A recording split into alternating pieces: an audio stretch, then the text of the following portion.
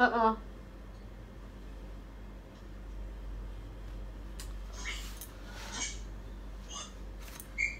Ah!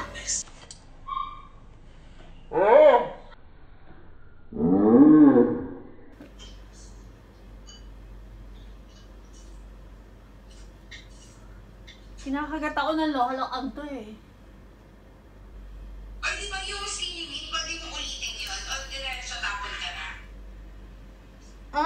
Ulitin? Hindi ko na ulit eh. Nakalagay parang ano, 3 to 4, ano yung ginawa nila yun, di ba? Oo? Oo.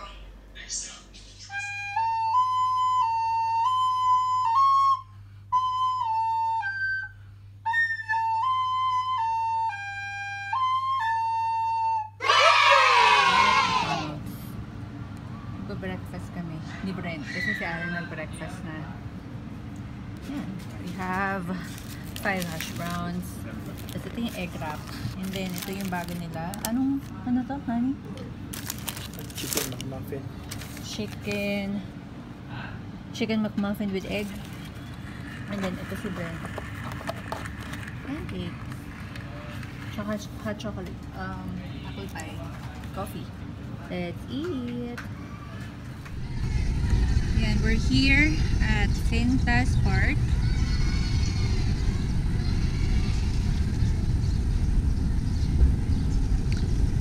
There's Alan. May dala kaming camping chair. Tig-isa kami. Kumikita na yung establishment or ito, ito, ito, ito. Yan, dating McDonald's yan. Ngayon, Starbucks na siya eh. Pero close kasi parang sunog ata. Oops. There's friend. Mamaya na kami mag-walking kasi kakataas lang namin kumain. Madalas kami dati dito. This time of the year din eh. Ito kasi yung um, perfect na panahon para pumunta sa mga parks. Nag-stop kami na pumunta dito nung nagkasakit ako and then tsaka yung nagsara nga yung McDonald's.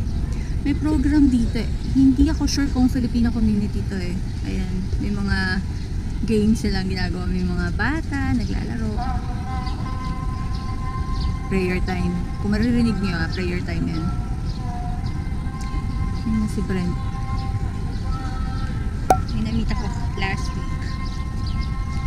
We met over brunch and wala, nakakatuwa lang i-share kasi may namit nga ako na bagong friend. Magkikita uli kami on Sunday. In-invite niya kami ni Brent na mag-brunch sa bahay nila. Magsiswimming din sila. Hindi ko alam kung mag-vlog ako kasi nahihiya naman akong 'di ba, ipakita yung bahay nila and yung ano nila, yung place nila. Syempre, privacy din. Um, she's Korean. Her name is Jamie. I don't know kung mapapanig na to. Ay, hi Jamie. First na ako nakita sa Instagram and then chinek niya yung ito, itong YouTube channel ko. May mga video siyang napanood. Yung time na nag english pa ako. Nasaan na si Brett? Hindi ko makita. Medyo nakapagsalita ako kasi walang tao dito sa part na to. Inad niya ako. I mean, pinollow niya ako. And then I followed back. Kasi nga, parang sabi niya sa akin, we live in the same area. Tapos ayun, nag-usap kami. And then, tinanong ko siya kung how long are they planning to stay here. Kasama niya yung family niya dito. And then sabi nga niya, they are planning to stay longer. And hopefully, maging magkaibigan kami. So, yun. Nag-meet kami. Kaya ako tinanong yun kasi ayoko naman na makipagkaibigan ako and then magiging kaklose ko siya. Tapos, after a few months, aalis sila. You know, I'll be, I will be heartbroken. Yun kasi yung hirap sa expat ka. And, you want to meet new friends. Pero, syempre, kailangan mong isipin kung pamatagalan ba or hindi. Ako basta-basta nakipagkaibigan. Kasi, na-attach ako eh. She completely understands. And, we're on the same page naman.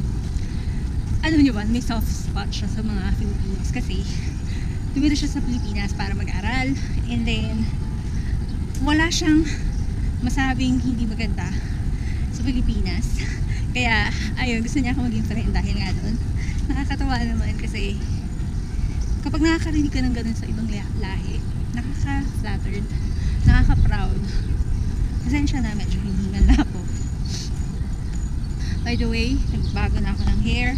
Nagpa-light ako ng hair ko. Nag, nagpa-highlights din.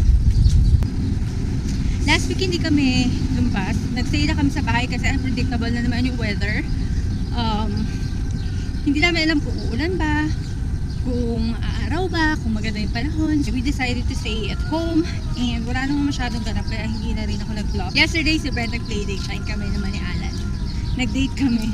Nakakatawa kasi nakaayos pa ako talaga at hindi naman ako na-inform na after namin mag-coffee, pupunta kami ng wet market. Nakakatawa lang, pinagdidininan ako kasi nga talaga nakaporma ako kahapon. Nag-forms pa ako. Tapos dadali na pala ako sa palengke. I'm going to show you kids playground. Ayan si Brad, iniwan niya yung bike sa daddy niya.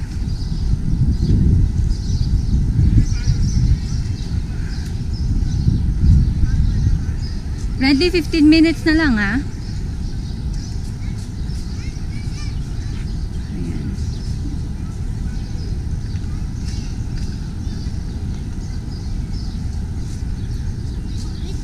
15 minutes na lang. Oh my God, what happened to your face? Red. Grabe, sobrang pula mo.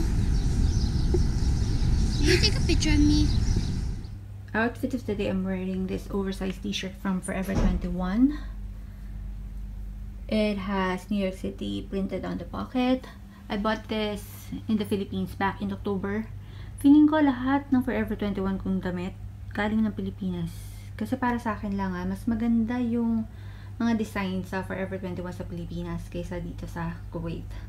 Um, for the leggings, this one, the usual, from Zara. Sa leggings naman, I highly recommend Zara kasi ang kakapal niya and yeah, hindi siya babakat. My Adidas Ultra Boost X. His and hers kami ni Alan nito eh. Color gray din yung kanya. Those are the shoes that I wore yesterday and I was not informed na dadaling pala ako ni Alan sa palengke. Chumaporms pa ako. Kailangan ko silang i-disinfect yung soles bago ko ibalik sa box kasi alam nyo na. And then I have this chambray boyfriend shirt tied around my waist to cover the bum bum and the crotch area because ladies, please, leggings are not pants. Watch, I'm wearing my Apple Watch. And then yung Cartier inspired love bangles ko. South Sea pearl earrings, engagement ring. Yung bag gamit ko yung Goyard. There.